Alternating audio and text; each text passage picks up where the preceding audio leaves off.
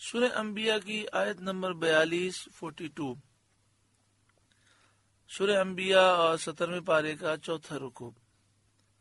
अल्लाह रब्बुल ने इशाद फरमाया, कुल, ए महबूब, आप फरमाइए, मई यकलउकुम बिल्लैली वन नहारी मिनर रहमान। शबाना रोज तुम्हारी कौन निगहबानी करता है रहमान से? रात और दिन में रहमान के अजाब से तुम्हें कौन बचाता है? बल हम अन ज़िक्र रबी हिम मोरिदून, बल्कि वो अपने रब की याद से मुँह फेरे हैं। जब ऐसा है तो उन्हें अल्लाह के अजाब का क्या खौफ हो? और वो अपनी हिफाजत करने वाले को क्या पहचाने? मुराद ये है कि अल्लाह ताला चाहे अजाब देना तो तुम्हें कोई बचा नहीं सकता। तुम्हें मुसलसल जो नेमतें मिल रही हैं और कई बीमारियों से तुम बचे हुए हो तो ये रहमान का फजल है कि उसने तौबा का दरवाज़ा खुला रखा है और तुम्हारे लिए मोहलत है, इससे फ़ायदा उठाओ और तौबा कर लो अजाब आने से पहले। अम लहुम आलिहतुन तमनाउहुम मिन दूनिना? क्या इनके कुछ खुदा हैं जो उनको हमसे बचाते हैं? यानी इनके ख्याल में हमारे सिवा क्या और कोई खुदा है जो हमारे अजाब से इन्हें महफूज रखते हैं? ऐसा तो नहीं है। और अगर वो अपने बुतों की नस्बत ये एतकाद रखते हैं कि ये बेजान पत्थर इन्हें अल्लाह के अजाब से बचाते हैं। ला नस्ल अनफुसिन वो अपनी ही जानों को नहीं बचा सकते। अपने पूजने वालों को क्या बचा सकेंगे? वलाहुम मिन्ना युसहबून, और ना हमारी तरफ़ से उनकी यारी हो। यानी ये बुत अल्लाह ताला के मुकर्रब नहीं है। ये बेजान पत्थर हैं, ये मरदूद हैं, ये बातिल हैं। इनका अल्लाह के हुजूर कोई मकाम नहीं। और कुफार तो बुतों को पूछते थे। जो अल्लाह के सिवा किसी को पूजे, वो मुशरिक है, काफिर है। दुनिया और आखिरत में बर्बाद होने वाला है। यहाँ पर यह अर्ज़ कर दूँ कि इन आयतों का गलत तर्जमा और तफसीर पेश करके बाज हजरात, अल्लाह वालों की मोहब्बत पर इन आयतों को ले जाते हैं। देखिए, हम फरिश्तों से अम्बिया से, रसूलों से, औलिया से मोहब्बत करते हैं। और हम उन्हें अल्लाह की बारगाह में वसीला बनाते हैं, वसीला समझते हैं, और उनकी हम ताजीम करते हैं। इसलिए कि अल्लाह ताला ने फरिश्तों को अम्बिया को, औलिया को मकाम दिया है। और ये अल्लाह के महबूब बंदे हैं। हम इनमें से किसी को खुदा इला महबूद नहीं समझते, इनमें से किसी की पूजा नहीं करते। हम इबादत सिर्फ़ अल्लाह ताला की करते हैं। हाँ ये ज़रूर है कि हमारा ये अकीदा है कि अल्लाह के नेक बंदे अल्लाह की अता से कायनात में तसरुफ करते हैं। हज़रत ईसा सलाम के बारे में तो कुरान पाक की आयात मौजूद है कि आप अल्लाह के इजन से मुर्दों को ज़िंदा फरमाते। मादर जात अंधों को आँखें देते बर्स के मरीजों को शिफा देते, मुर्दों को ज़िंदा करते। इसी तरह फरिश्तों के बारे में यह अकीदा हर मुसलमान का है कि फरिश्तों में से बाद फरिश्ते रोजी देते हैं, रूह निकालते हैं, रूह डालते हैं, शिफा देते हैं। तो ये सारे अकायद हैं, मगर अकीदा ये है कि फरिश्ते अम्बिया औलिया जो करते हैं, अल्लाह के हुक्म से करते हैं ये खुदा इला मबूद नहीं है। तो इन फरिश्तों की शान अम्बिया और अलिया की शान को कोई ना समझे और इन्हें बुतों से मिला दे तो ये खारजी है। जिस तरह इमाम बुखारी रहमान ने हज़रत अब्दुल्ला बिन उमर रदी अल्लाह तहुमा का फरमान लिखा कि खारजियों को आप बदतरीन मखलूक समझते थे कि ये आयतों में तारीफ़ करते हैं। यानी कुरान की आयतों के अल्फाज तो बदले नहीं जा सकते।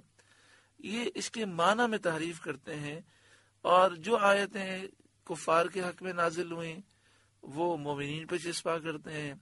बुतों के लिए आयतें नाजिल हुई तो वो अल्लाह के नेक बंदों पर चिस्पा करते हैं। इसी वजह से तो खारजियों ने हज़रत अली को मुशरक कहा, हज़रत अमीर माविया को, बल्कि तमाम साहब कराम को मुशरक कहा। और वो तो नारा लगाते थे कि तोहीद परस्त सिर्फ़ हम है।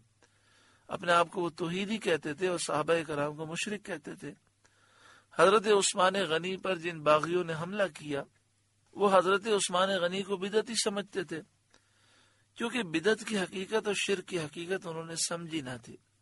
इसका समझना इंतहाई ज़रूरी है। बाहर शरीयत से आप ये दोनों किताबें और सीडी और कैसेट हासिल कर सकते हैं।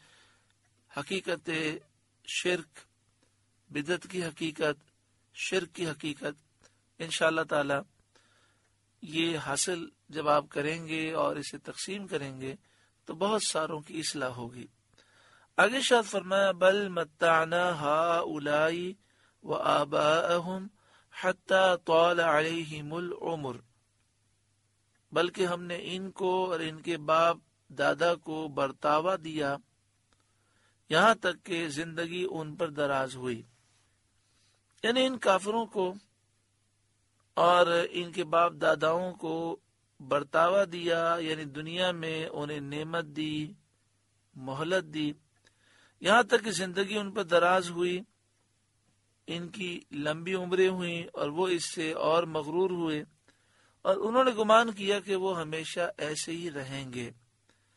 अफला यरौन अन्ना न तिल अर्द नन कुसुहा मिन अतराफिहा तो क्या वो नहीं देखते कि हम ज़मीन को इसके किनारों से घटाते आ रहे हैं यानी जो कुफरिस्तान है जहाँ काफिरों की हुकूमतें हैं हम रोज बरोज मुसलमानों को इस पर तसल्लुत दे रहे हैं एक शहर के बाद दूसरा शहर फतह होता चला आ रहा है हदूद इस्लाम बढ़ रही है और सरजमीन कुफर घटती चली आती है। यानी मक्के मुकर्रमा पर और इसके इर्द गिर्द पर मुसलमानों का तसल्लुत होता जाता है। क्या मुशरकिन जो अजाब तलब करने में जल्दी करते हैं, इसको नहीं देखते और इबरत हासिल नहीं करते? जब ये आयात नाजिल हुई तो इन आयात के नाजिल होने से पहले चारों तरफ़ कुफर का गलबा था। फिर नबी अकरम सल्लल्लाहु अलैहि वसल्लम ने इस्लाम की दावत दी। फिर मदीना मुनवरा में इस्लाम की रियासत बनी। फिर कई इलाके फतह हुए, मक्का शरीफ, ताइफ, हुनैन, और ये मुसलमानों के इलाके बढ़ते गए और काफरों के इलाके कम होते गए। फिर साहब कराम के दौर में यहाँ तक कि मुसलमान दुनिया के अक्सर हिस्से पर गालिब आ गए। अगर मुसलमान कुरान मजीद फ़ुकान अमीर की तालीमत पर अमल करते तो आज पूरी दुनिया पर वो गालिब होते और पूरी दुनिया के तमाम ममालिक पर इस्लामी लश्कर होता, इस्लामी झंडा होता। लेकिन फिर काफरों की साजिश कामयाब हुई और उन्होंने मुसलमानों को बेहयाई और गुनाहों में लगा दिया। जब हम कुरान से दूर हो गए तो इन बरकतों से महरूम हो गए। अफला यरौन अन्ना नतिल अर्द ननकुसुहा मिन अतराफिहा तो क्या नहीं देखते कि हम ज़मीन को इसके किनारों से घटाते आ रहे हैं? अफहमुल गालिबून? तो क्या ये गालिब होंगे? जिन कुफार के कब्जे से ज़मीन दम बदम निकलती जा रही है, क्या ये गालिब होंगे? या रसूल करीम सल्लल्लाहु अलैहि वसल्लम और उनके असहाब जो अल्लाह के फजल से फतह पर फतह पा रहे हैं और इनके मकबूजात दम बदम बढ़ते चले जाते हैं, इलाके दम बदम फतह होते जा रहे हैं तो ए काफरों, ये बताओ कि नबी अकरम सल्लल्लाहु अलैहि वसल्लम और उनके साहबा गालिब आएँगे कि ये काफिर गालिब आएँगे? अफाहमुल गालिबून तो क्या ये गालिब होंगे? कुल, ए महबूब, आप फरमाइए इन नमा उन जीरुकुम बिलवाही कि मैं तुमको सिर्फ़ वही से डराता हूँ, और अजाब इलाही का उसी की तरफ़ से खौफ दिलाता हूँ। वला यसमा दुआ मा युन जरून और बहरे पुकारना नहीं सुनते जब डराए जाएँ। यानी काफिर हिदायत करने वाले और खौफ दिलाने वाले के कलाम से नफा न उठाने में बहरे की तरह है। जिस तरह बहरा सुनता नहीं, ऐसे ही ये नसीहत को सुनकर नफा नहीं उठाते। वलाइम मस्सतुम नफहतुम मिन आदाब रब्बी का और अगर उन्हें तुम्हारे रब के अजाब की हवा छू जाए, लयकूलुन्ना तो ज़रूर कहेंगे, या वही लना इन्ना कुन्ना जालिमीन। हाय खराबी हमारी, बेशक हम जालिम थे, कि हमने नबी की बात गौर से न सुनी और नबी पर ईमान न लाए। यानी ये जो काफिर अजाब का मुतालबा करते हैं, अजाब तो बड़ी चीज़ है, सिर्फ़ अजाब की हवा भी छू जाए तो ये पुकार उठेंगे कि हाय हमारी खराबी, बेशक हम जालिम थे। वह नदउल मवाजीन और हम इंसाफ की तराजुएँ रखेंगे कयामत के दिन। नाम अमाल तो ले जाएँगे। फला तुजलम नफसन शैआ तो किसी जान पर कुछ जुल्म न होगा। व इनका न मिसकौल हब्बत मिन खरदलिन अतईना बिहा, और अगर कोई चीज़ राय के दाने के बराबर हो तो हम उसे ले आएँगे। यानी कोई भी अमल, चाहे छोटे से छोटा हो, उसे भी हम नाम अमाल में लिखेंगे, कल बरोज कयामत उसे ले आएँगे। व कफा बिना हासिबीन, और हम हिसाब को काफ़ी हैं। वलकद आतना मूसा व हारून अलफुरकाना, और बेशक हमने मूसा और हारून को फैसला दिया व दिया व ज़िक्र और उजाला और परहेजगारों को नसीहत। यानी हमने हज़रत मूसा और हज़रत हारून को तौरेत अता की, जो फुरकान है, हक और बातिल में फ़र्क करने वाली किताब है, जो दिया अन है, रोशनी है, उजाला है, इससे नजात का रास्ता मालूम होता है।